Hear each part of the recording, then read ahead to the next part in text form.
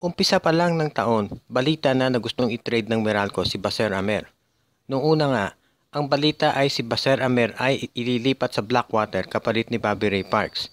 Pero ang nangyari, si Bobby Ray Parks ay napunta sa TNT. Ang sumunod namang balita, si Baser Amer ay ite-trade sa Alaska kapalit ni Chris Banchero. Pero alam naman natin ang nangyari at si Chris Banchero ay napunta sa Magnolia.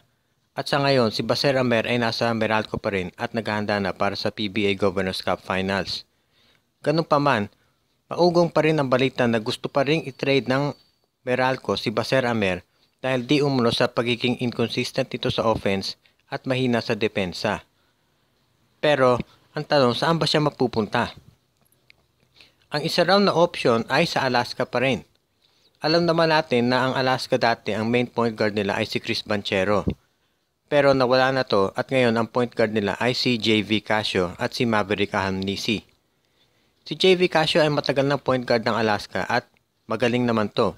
Kaya lang may edad na rin at ngayon ay mas madalas siya na lang ang backup. Si Maverick Ahamnisi, point guard yan at mahusay nung nasa Rain or Shine pa. Pero kasalukuyan nagre-recover pa rin sa injury at nakikita naman natin sa laro niya mas sanay at mas hiyang si Aham Nisi pag siya ay shooting guard dahil ang tendency talaga niyan ay dumrive at tumira sa tres. Kung si Baser Amer ay mapupunta sa Alaska, magkakaroon na talaga ng point guard ang Alaska. Isang true point guard na pwede nilang asahan na i-run yung mga plays nila.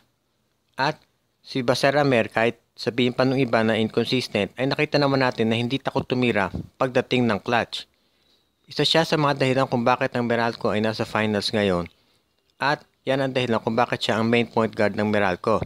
Sinubukan nga noon ni Coach Norman Black na gawing main point guard si Travis Jackson at off the bench si Baser. Pero nakita naman natin na mas maganda pa rin ang laro ni Baser Amer. Kung mapupunta sa Alaska si Baser Amer, magiging upgrade yan sa point guard position nila. Si Baser Amer ang starting at si JV Casio off the bench. Si Maverick Ahamnisi pwede nang maging shooting guard kapalit ni Simon Enciso. Lalakas ang backcourt ng Alaska at magko-complement sila ng frontline kasama si Sanitos at si Abu Tratter. Ang tanong na lang, sino kaya ang ipapalit ng Alaska kung sakaling i-offer ng Meralco si Baser Amer? Si Jeron Teng kaya? O si Kevin Racal? O mga bagong player at mga pick? At kaano kaya katagal bago makapag-adjust si Baser Amer kung siya nga ay lumipat sa Alaska? Ang alam natin, ang Alaska ay hindi nagpapalugi sa trade So kung hihingin ng Meralco ng isang mga ng isang magaling na kapalit, si Baser Ahmed talaga ang hihingin ng Alaska para siguradong hindi sila madehado.